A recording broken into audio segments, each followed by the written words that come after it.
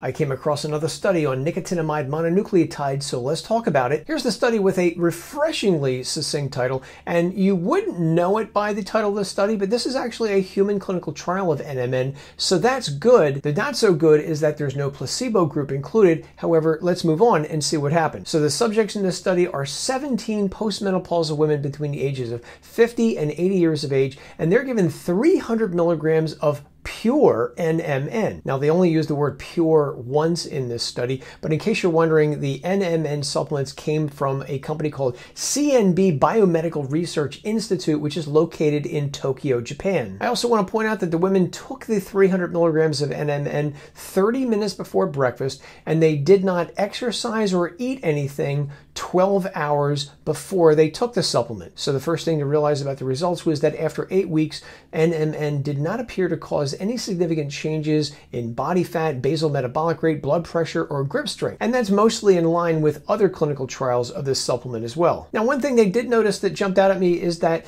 NMN supplements appeared to cause a significant increase in body mass index. And that is something that I have not seen in other human trials of this supplement. They also reported increases in blood platelet count, and there was also a significant decline in hemoglobin A1C, which is interesting because, again, this study only lasted two months and it normally takes at least three months to see significant declines. After two months, hemoglobin A1C dropped from 5.34 down to 5.23%, which is a modest reduction, but still very interesting, and it was significant after just two months. Now, in terms of hormones, both adiponectin and DHEA increased after taking this supplement. However, on the other side, NMN did not change cortisol levels, thyroid stimulating hormone, thyroid hormones, T3 or T4, Insulin didn't change, and so too where there was no change in free testosterone either. Now, something else that's interesting here is that the supplement led to an increase in niacin levels in the blood. However, and I thought this was interesting, there was no change in NMN levels, and NAD in the blood actually declined. Now, on the surface, while this may not sound like good news, is it possible that the lack of improvement in these compounds in the blood could that be due to simply the rapid uptake of these compounds by individual cells?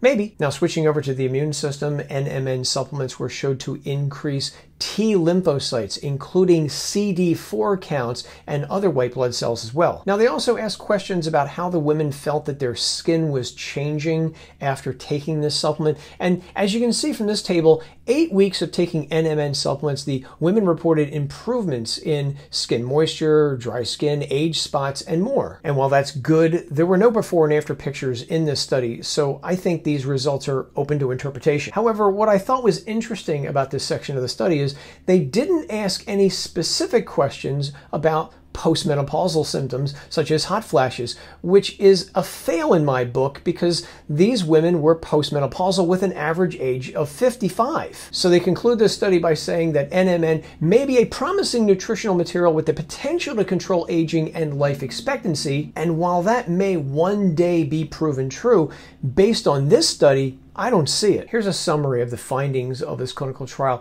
And as you can see, the major objective testable findings, we see that NMN produced mostly no significant changes. It's only when we look at subjective findings, such as how do you feel about what's happening, that we see improvements. And that's why this study really needs to be replicated. But next time, they need to include a placebo group.